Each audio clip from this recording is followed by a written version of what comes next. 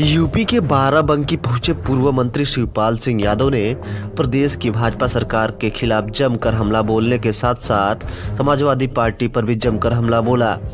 शिवपाल सिंह यादव ने समाजवादी पार्टी में अपनी पार्टी के विलय की अफवाह पर विराम लगाते हुए कहा कि 2022 में उनका प्रयास होगा कि हम सत्ता में रहें। विलय के सवाल पर उन्होंने कहा कि हमारा किसी में विलय का सवाल ही नहीं गठबंधन हो सकता है और गठबंधन वही होगा जहाँ उन्हें सम्मान मिलेगा।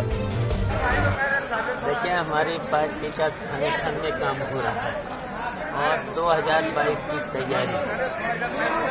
और हमारी ये तैयारी है दो हज़ार बाईस में प्रगतिशील समाजवादी पार्टी सरकार में रहे। क्या गठबंधन होगा या मर्ज होगा पार्टी का?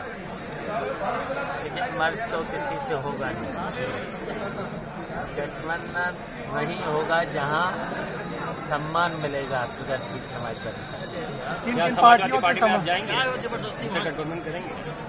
अगर सम्मान मिलेगा तो कल सम्मान मिलेगा। जो हाँ मुझे सम्मान देगा तो हम उससे अधिक सम्मान देने की कोशिश करेंगे। क्या सपा से सम्मान नहीं मिल रहा? ये तो आप सब लोग समझते हैं जैसा है। बिल्कुल ठीक नहीं है। कानून व्यवस्था तो चली जा रही है। अभी मंत्री जी यहाँ पे लोक निर्माण मंत्री भी आए थे।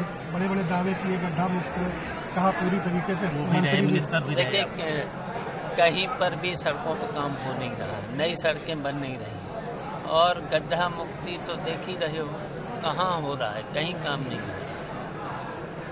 पूरे प्रदेश में और जब हम मंत्री थे शायद कोई भी ऐसा जिला नहीं था जहाँ सड़कों पर काम न हो रहा हो। लेकिन इस समय तो पूरे प्रदेश में एक भी नई सड़क हमें दिखती नहीं। तो तो उपलब्धियाँ बता रहे हैं अपनी कि हमने इतना अच्छा काम किया सबके अब उनकी उपलब्धियाँ तो जब 2022 का चुनाव आएगा तो जनता बताएगी।